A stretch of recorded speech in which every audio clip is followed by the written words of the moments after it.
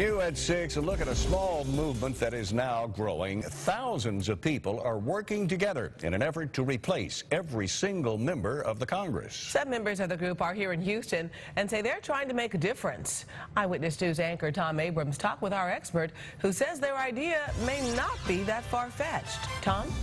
Gina Day, there is a relatively new political movement that is rapidly gaining momentum as more and more Americans express their dislike of Washington politics. It was started by Tim Cox, a Texan who lives near Austin, but is earning a national reputation. Chances are that Tim Cox doesn't like your representative in Congress. I think the politicians are destroying our country. It could be Gene Green or Al Green, Pete Olson or Ted Poe. The system is broken. The people that are up there, they don't represent you and I. Even Kevin Brady and Sheila Jackson Lee are no good. It's not a personal thing. He wants all of them out of office. It's a plan to replace all 435 members of the United States House of Representatives. That plan is called GOOOH. Get out of our house. A very simple way that we can take the money and the parties out of the system and put accountability back in. Cox wants people to sign up at his website, fill out a questionnaire, and become a member for free. Once he hits 500,000 members, he'll ask for $100 donations. From that pool of people and with that money, GOOOH will offer a two-term limited candidate in every district in every state.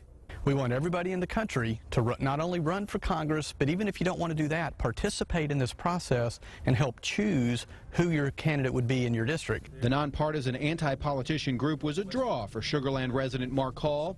He's fed up with Congress. If GOOOH candidates can control the House of Representatives, then that's the first phase in turning this country around to the way that our founding fathers intended it to be. And believe it or not, they may have a shot. It's uh, a unique idea. KTRK political consultant Dr. Richard Murray says the ease of internet communication and today's political climate could sow the seeds of success for any true grassroots effort. We had a poll a few months ago that showed only 47% of voters now were identifying up front with the Democratic or Republican Party, which means a lot of people have pulled back from a partisan identification. Cox has written a book about his plan, tours the country speaking about it, and hopes that his goal of turning over Congress ultimately gets a green light from voters.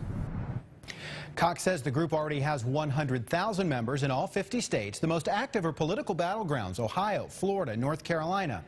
Texas is the most active state, with Houston being the most active city.